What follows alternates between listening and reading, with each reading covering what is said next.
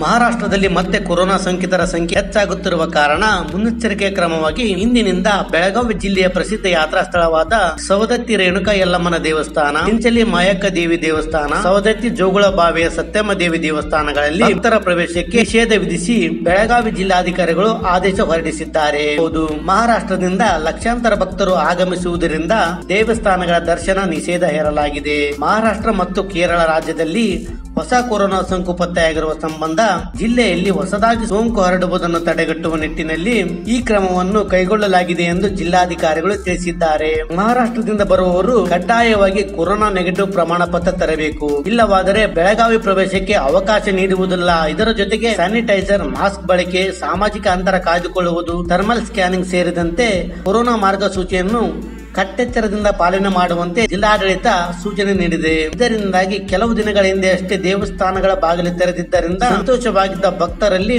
ಮತ್ತೆ ನಿರಾಸೆ ಮೂಡಿದೆ. ಫ್ರೆಂಡ್ಸ್, ಏನೇ ಆಗಲಿ ಜಿಲ್ಲಾಧಿಕಾರಿಗಳು ಹೇಳುವವರೆಗೂ ದೇವರ ದರ್ಶನಕ್ಕೆ ಹೋಗದಿರುವುದೇ ಒಳಿತು. ಫ್ರೆಂಡ್ಸ್, ಈ ಮಾಹಿತಿ ಇಷ್ಟ ಆದ್ರೆ ಲೈಕ್ ಮಾಡಿ, ಶೇರ್ ಮಾಡಿ ಹಾಗೂ ತಪ್ಪದೆ ನಮ್ಮ ಚಾನಲ್ ಸಬ್ಸ್ಕ್ರೈಬ್ ಮಾಡಿ.